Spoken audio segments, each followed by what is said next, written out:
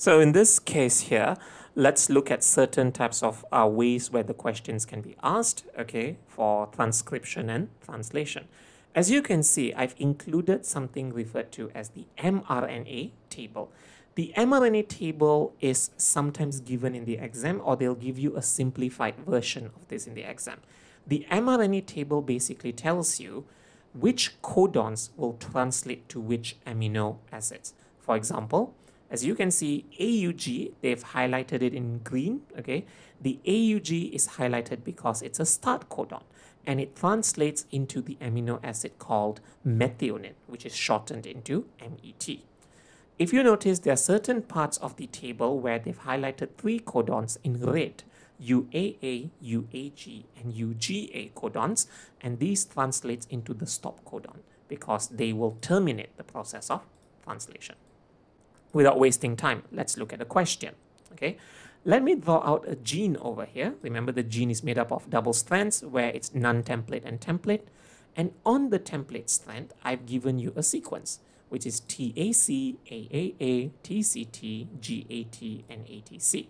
Now, remember, when transcription happens, which strand is chosen? Is it the non-template strand or the template strand?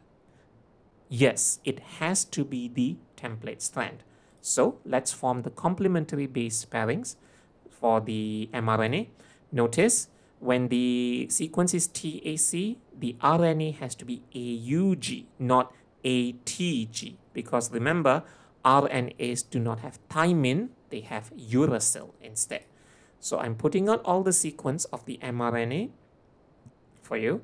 AGA, C U A and also U G. Oh sorry U A G okay? Now they will then form the mRNA. And if you notice the mRNA they will then have codons of AUG UUU AGA CUA and UAG so there are five codons in total. Now so if the first codon is AUG the tRNA has to be an anticodon of UAC, and the tRNA will carry an amino acid called methionine. I've consulted the table. Okay, let's look at the second one. The codon is UUU. The tRNA has to have an anticodon of AAA, right? Because of complementary base pairing. Let's consult the table. UUU anticodons, which amino acid does it translate to? It translates to an amino acid called phenylalanine, which is PHE. Next codon, okay, AGA, if we consult the table, it's amino acid arginine. Next codon CUA, tRNA is GAU, and the amino acid is leucine, and UAG translates to a stop codon. And there you go, you got a polypeptide chain consisting of four amino acids. This is how transcription and translation plays out. And you can consult the table for this. Right, let's look at another one, okay? I'm going to change it a little bit all right i'm going to change a sequence over here. Now let's let's make it a little bit more interesting. Now let's say that i'm just highlighting i've put question marks over there. I've put question marks in the gene i've put question marks in the mrna and i've also put a question mark in the amino acid. Now let's say the trna's anticodon is ccu all right so we can use the trna's information to find out all the other information right? What do i mean by that so if the tRNA's anticodon is CCU, the anticod uh, the codons of the mRNA has to be GGA. And if you look at the table, GGA will translate to an amino acid called glycine, GLY. Okay? And if the mRNA is GGA, what will the gene be then? Well, because the mRNA's codon was GGA, so therefore the gene has to be CCT. So by just giving you one information, we can kind of piece out all the other informations as well. Let's try another one, okay? Let's, let's for the fun of it, just try another one out, okay? Oh, there's another thing that we have also have to know about DNA.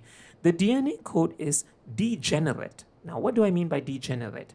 It means that multiple bases can be translated into the same amino acid. Now, what do I mean by that? Let's try one. Let's say the gene is TAC, GCT, GCG, GCA, and ACT. So the mRNA is going to be AUG, CGA, CGC, CGU, and UGA. Now, interestingly, the first tRNA is going to be carrying methionine, but the second, third, and fourth tRNAs, if you notice, they are all carrying the same amino acid, arginine, because multiple codons can translate to the same amino acid. For example, the codons CGA, codons CGC, and codons CGU will all translate into the amino acid arginine. So multiple codons can be translated over there as I've highlighted in the table. So as you can see in the table where I've just put it in like pink squares, is it pink? Yeah, I think it's pink. You notice that six codons can translate into the amino acids arginine. This is what is meant by the DNA code is degenerate, which means to say it can be repetitive, basically.